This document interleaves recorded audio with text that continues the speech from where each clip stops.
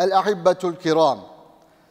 لقد التحق إلى الرفيق الأعلى رئيس جمهورية مصر المنتخب محمد مرسي والذي كان مثالا على العيش والحياة مؤمنا بمواقفه المستقيمة وكفاحه المشرف ووقفته الأصيلة بعد تعرضه للظلم والضغوط والعيش تحت الشرائط والظروف الصعبة.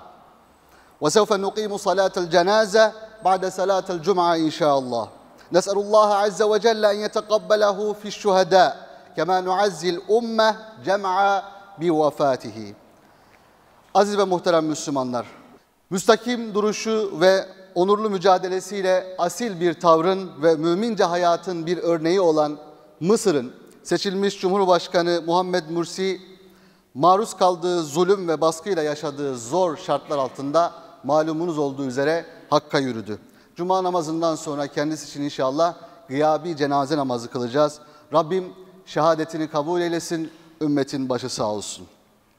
Dear brothers and sisters, the elected president of Egypt, Mohamed Mursi, who showed an example of a noble attitude and faithful life with his right standing and honorable struggle, passed away under difficult conditions in which he was made to live by despotism and oppression.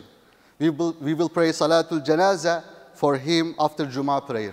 May the Almighty Allah accept his martyrdom. Condolences to, to the Ummah.